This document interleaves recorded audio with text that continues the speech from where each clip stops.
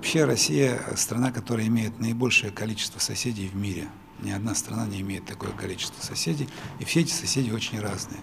То, что мы являемся таким связующим звеном, в том числе и на постсоветском пространстве, это накладывает определенные обязательства на нас. Мы должны уважать позиции тех или иных государств, мы должны уважать мнение их людей, их народа, и в то же время мы должны делать так, чтобы э, вот процессы дезинтеграции на постсоветском пространстве, они не, носили, не наносили вреда, прежде всего, самим этим людям. Что касается Грузии, там сейчас поменялось правительство, там сейчас новый значит, политический руководитель, э, там сейчас люди, которые находятся в парламенте, в большинстве они имеют иной взгляд на Россию, чем это было при режиме Саакашвили. Я с ними уже контактировал на различных международных площадках. Мы наметили определенные шаги по дальнейшему, скажем так, обмену мнениями, потому что межпартийный диалог и парламентский диалог важен.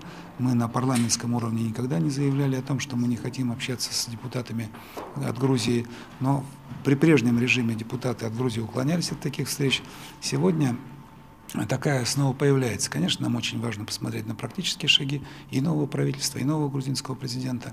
Ну и в зависимости от этих практических шагов мы тоже будем выстраивать свою линию поведения. Еще раз подчеркну, что Российская Федерация и партия «Единая Россия» заинтересованы в том, чтобы у нас э, среди наших соседей и между нами и нашими соседями были максимально э, спокойные, деловые, э, взаимовыгодные связи.